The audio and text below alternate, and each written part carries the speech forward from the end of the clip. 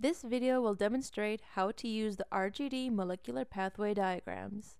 The complete list of available diagrams can be accessed from the RGD Pathways page by clicking the tab or the button on the RGD homepage labeled Pathways. On the resulting page, click on Molecular Pathways individual diagram pages to see the comprehensive list of available diagrams.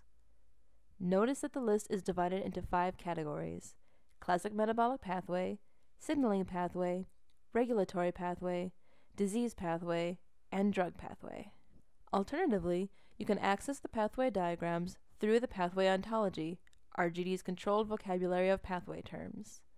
From the RGD homepage, you can access all of the ontologies in use by RGD by clicking the button labeled Function. On the resulting page, you can search for a term of interest or browse any of the vocabularies to find terms. Click on PW Pathway Ontology to access the RGD Ontology Browser, where you can browse through the ontology. Note that the five categories we mentioned earlier are the five child terms of the top term pathway. In the ontology browser, you can tell whether there is a diagram for a particular term or for one or more child terms by viewing the icons next to the text. An orange A means that RGD has annotations available for that diagram. That is, that term or at least one of its children is associated with a specific set of genes. A dark colored D means that there is a pathway diagram available for that term specifically.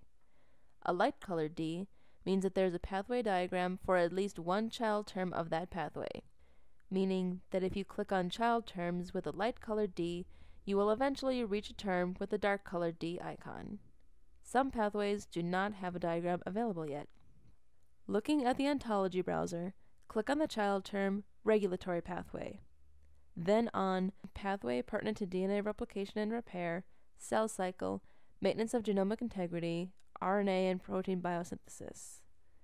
The resulting child term, chromatin modification remodeling pathway, will appear with both a light and a dark colored D next to it, meaning that there are diagrams for both that pathway and a child term.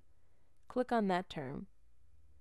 Notice that because the selected term has a diagram, in addition to the icons mentioned previously, there's a thumbnail of the diagram.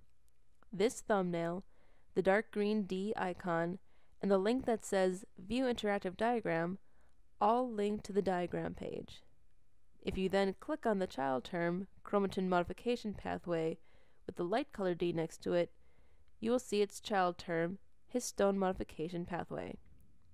Click on the dark color D next to that term. On the resulting page, you should see the diagram for the term histone modification pathway. At the top of the page, you will see the option to view the ontology report for the pathway. This opens another tab or window on your browser so you can easily toggle back and forth between the diagram and the ontology report. On top of the ontology report page is a thumbnail of the pathway diagram which again links to the diagram page. Below the ontology report link on the diagram page is a description for the pathway diagram, detailing its various components and interactions.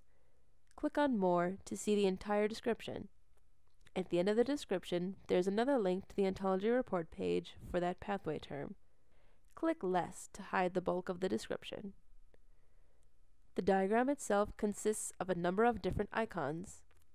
Each icon represents a component of the pathway, such as a protein or small molecule, a downstream effect such as gene expression, or a connected pathway. The legend on the left indicates the data types represented by each shape. This particular pathway diagram consists of proteins, small molecules, a cell process, other pathways, complexes, and a functional class. You can click on any of these interactive features to open another page and obtain more information about that entity. The kind of page which opens depends on the entity itself. For instance, where a protein icon corresponds to a single protein, clicking on it will open the RGD gene for that protein. The default is rat, but in some cases this could be the human page. Where the icon represents any of a group of proteins, it will open a page with a list of possible participants, which in turn link to the report page for each. In the same way, icons for functional classes link to an RGD page showing a list of members of that class. Small molecule icons can be linked to a variety of sites including the ChEBI Ontology Report page in RGD, Wikipedia, or PubChem. In certain cases, a structural change in a protein, such as methylation or phosphorylation, is important for its function in the pathway. For these, the small molecule icon representing the altered moiety links to the corresponding protein database, or PDB, entry for the structure. Related pathway icons link to the ontology report page for that pathway. If the related pathway has a diagram, this is accessible from the ontology report page. If you click on any of the links in the diagram, you can use your browser's back button to return to the diagram. The various lines between the different shapes show what relation the two entities have as indicated by the legend on the left. In this pathway, you can see regulation, binding and protein modification. Although not listed in the legend of the default relationships, a plus icon means upregulation and a bar across the line denotes downregulation. Mouse over the relationship icon to see the participants and their relationship. For example, compass complexes upregulate gene expression. Directly under the diagram is a list of links to additional information about the components of the pathway. Click a link to go directly to that section of the page or scroll down through the sections. The first section indicates the genes in that pathway. The default is for rat, but you can view the genes for mouse and human as well using the tabs at the top of the table. You can choose to sort the table by symbol, name, position, or reference in either ascending or descending order. You can also download the list formatted as a tab delimited text file which can be opened in Excel or another spreadsheet program. Scrolling down the screen again, you will reach another table listing the disease annotations associated with the genes in the histone modification pathway. You can view the table information by disease or by gene. Scrolling further down, you will see a similar table listing other pathway annotations associated with genes in the histone modification pathway. As with the disease annotations, you can view the table information by pathway or by gene. Below this, if any genes in the pathway are associated with the specific mammalian phenotype terms, this will be indicated in the analogous phenotype annotations table. At the bottom of the page is a list of references for the histone modification pathway, and the ontology path diagram showing the tree structure between that pathway and the root of the ontology. If you have a copy of Elsevier's Pathway Studio software, use the link at the bottom of the page to save the GPP file and open it in the software. On a final note, the histone modification pathway is part of two of RGD's pathway suite networks, the Gene Expression and Regulation Pathway Suite Network, and the S-adenosylmethionine homeostasis pathway suite network. Scrolling back up to the top of the page, click on the menu item in the blue bar labeled Molecular Pathways. In the right column on the resulting page is a list of pathway suites and suite networks. Pathway suites are groupings of related pathways. Where appropriate, these suites are further grouped into suite networks, as indicated by the hierarchical listing here.